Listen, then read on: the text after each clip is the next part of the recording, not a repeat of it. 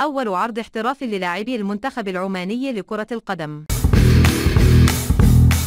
عرض نادي النصر السعودي لسيف الحبسية